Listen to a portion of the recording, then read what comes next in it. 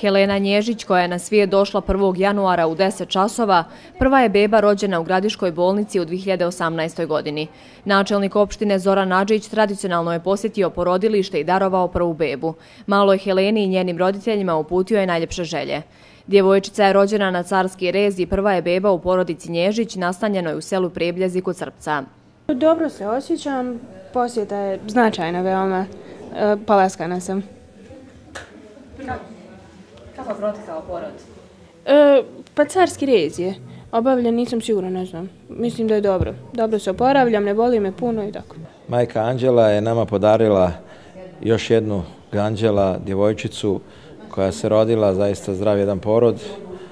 E, svi moramo da vodimo računa o pronatalitetnoj politici, da imamo što više novih naših stanovnika. Nažalost, moram reći da je u prethodnoj godini u ovoj bolnici rođeno 537 beba, od čega je 268 sa područja opštine Gradiška, što je za nekih 5% manje nego 2016. godine.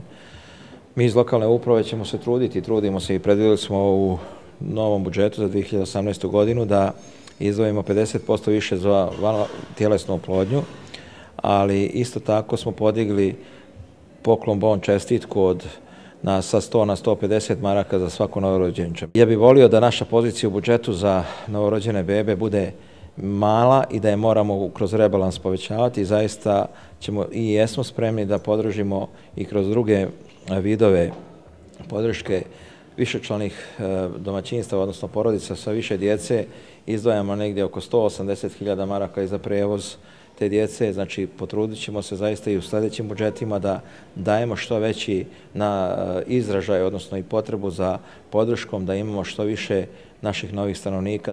Prvi čovjek Gradiške istakao je da lokalna i republička vlast različitim mjerama pronatalitetne politike i u buduće trebaju davati stimulans za povećanje nataliteta na ovim prostorima. To je jedini način da Republika Srpska opstane i razvija se u narednim godinama, poručio Jađić.